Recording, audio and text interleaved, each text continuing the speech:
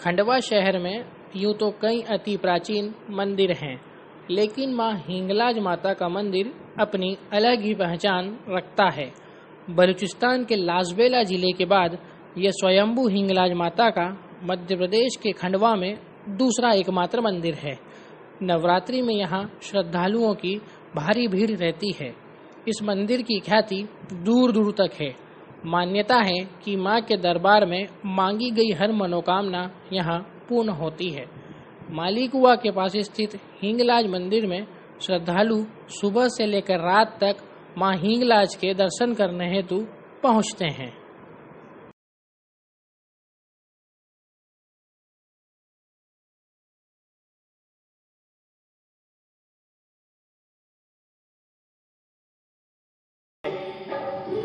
जो माता भगवती हिंगलाज माता का मंदिर है। इसके पूर्व जो हिंगलाज माता का मंदिर भारत में तो वैसे जहाँ तक नहीं है, और जो खंडवा ज़िले में, मध्य प्रदेश के खंडवा ज़िले में। और इसके पूर्व पाकिस्तान के, बलूचिस्तान के लासबेला ज़िले में माता हिंगलाज का मंदिर है।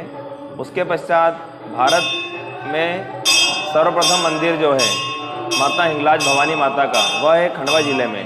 और बहुत अति प्राचीन मंदिर है। इसकी मान्यता यह है कि यहाँ पर जो भी भक्त आता है, उनकी समस्त मनोकामना माता भगवती पूर्ण करती है। और यह एकमात्र मंदिर है भारत में। यहाँ पर नवरात्रि में महापर्व पर काफ़ी दूर दूर से श्रद्धालु आते हैं दर्शन करने। और यहाँ पर जो भी व्यक्ति मुरादे माँगता है माता भगवती उनकी समस्त मनोकामना पूर्ण करती है। Praveen Mishra local eighteen Khandwa.